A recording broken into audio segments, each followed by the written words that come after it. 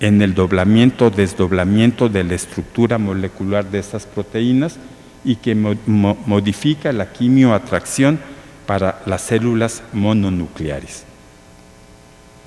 Bueno, hay un detalle muy interesante y es el que quiero invitarlos a reflexionar junto conmigo a continuación, que es la memoria metabólica.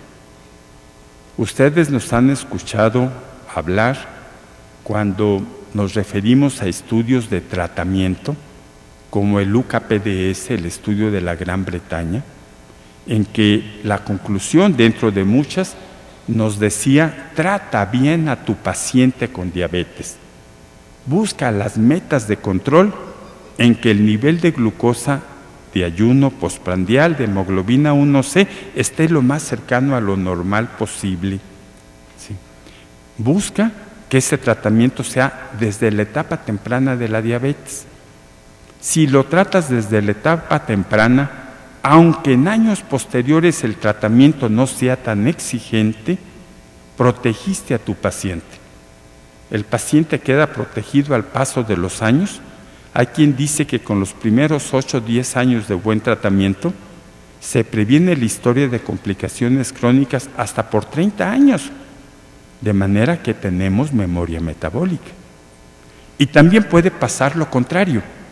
El paciente en un inicio estaba mal controlado y pasa tiempo con ese mal control.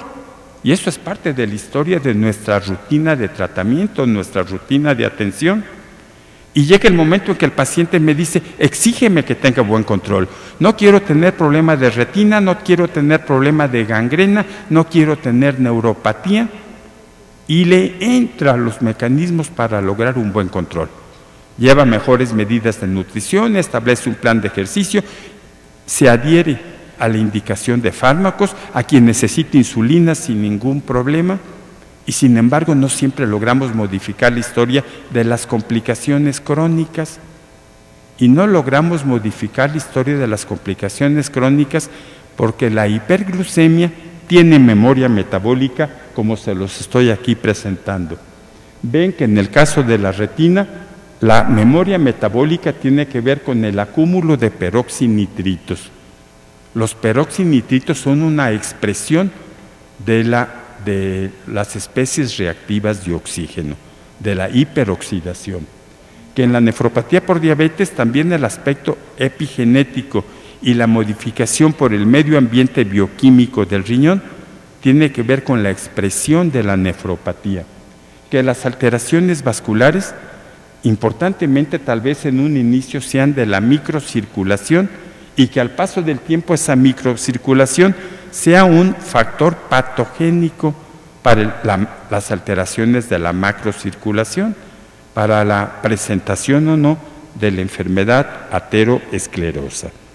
Entonces ven que la memoria metabólica también tiene bases bioquímicas y que tal vez a corto plazo no solo modifiquemos el nivel de la glucosa, sino que está en nuestro alcance modificar alguna de las alteraciones bioquímicas que tiene que ver con el desarrollo o la persistencia de esas complicaciones crónicas.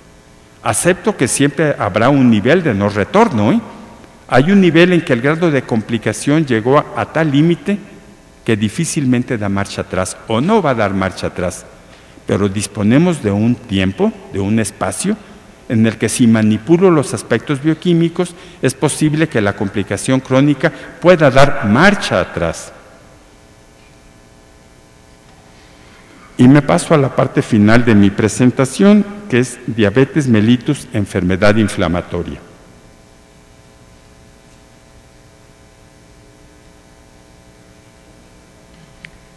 De nueva cuenta les pido ayuda, ayuda. Por favor, lean lo que está escrito en la diapositiva. ¿Qué les estoy diciendo?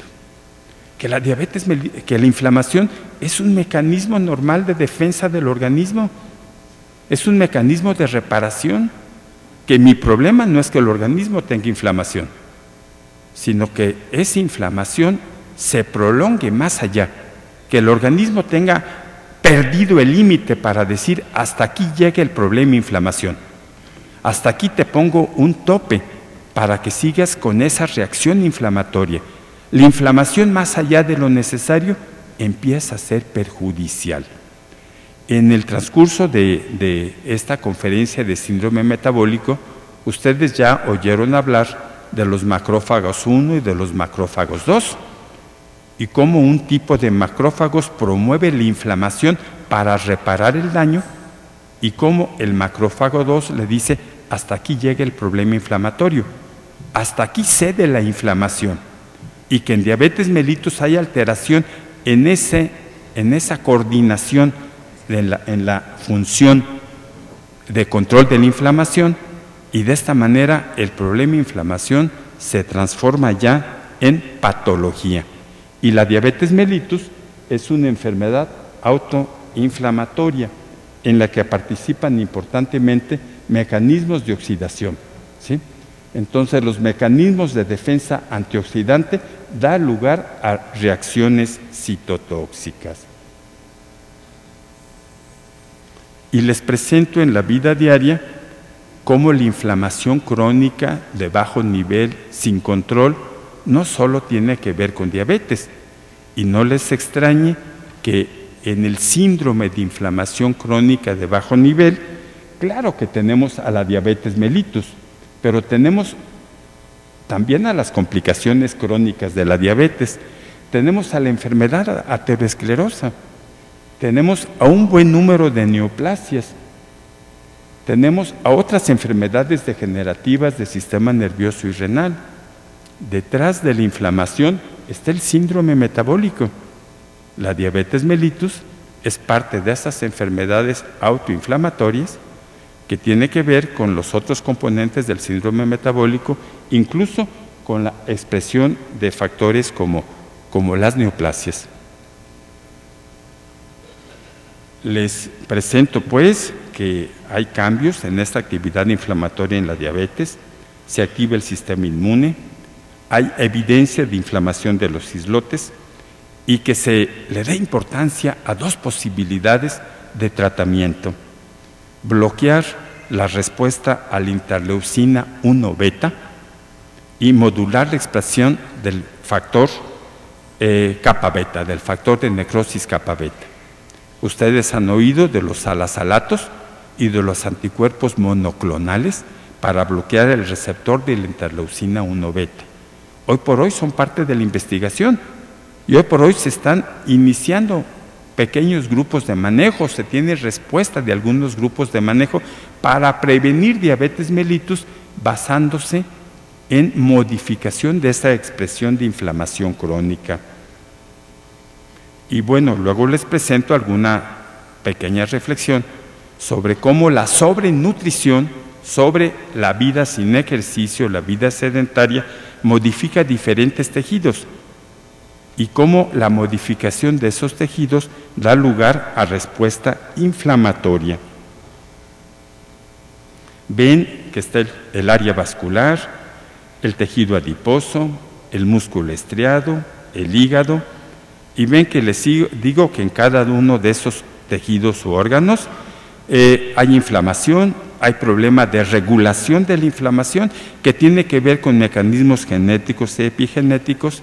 Y le doy importancia a otro tema de los que ustedes ya escucharon o van a escuchar en esta conferencia de síndrome metabólico, que es en la microbiota digestiva. La microbiota digestiva puede ser metabólicamente activa o no metabólicamente activa. Tiene tal capacidad de expresión genética esa microbiota digestiva que llega a igualar o a superar la expresión genética de nuestro propio organismo y las características de esa microbiota tiene que ver entonces con la posibilidad de que nuestro organismo haga o no un problema inflamatorio crónico de bajo nivel. Ven entonces que la sobrenutrición, la expandibilidad del tejido adiposo o el depósito de grasa en tejido no adiposo, en músculo, en hígado, en islotes pancreáticos, sin duda está detrás de la inflamación crónica. Y, bueno, en la actualidad se le está dando importancia al papel de nuestros antidiabéticos en esa inflamación. Solo escogí dos diapositivas en las que les menciono algunos de los avances sobre los medicamentos más recientes, sobre incretinas, sobre bloqueadores inhibidores de la enzima DPP4, sobre lo que tiene que ver con la expresión de GLP1 y la secreción de insulina dependiente de las hormonas intestinales. En esta diapositiva les presento algunas de las experiencias. Hay otra diapositiva más en la que les señalo también algunas de estas experiencias. Y termino mi exposición con una diapositiva en la que les digo, hablé de epigenética, hablé de mitocondria, hablé de inflamación crónica de bajo nivel. Díganme que debería haber hablado de endotelio, por eso es que escogí esta diapositiva. Y díganme por qué no hablé de estrés retículo endotelial, porque no, no me daba el tiempo para más presentación. ¿eh? De manera que muchas gracias por escucharme y espero en un tema que yo consideré con grado de dificultad no haberlos sobresaturado y no haberlos hecho pensar que, que de aquí, ¿qué conclusión práctica van a sacar?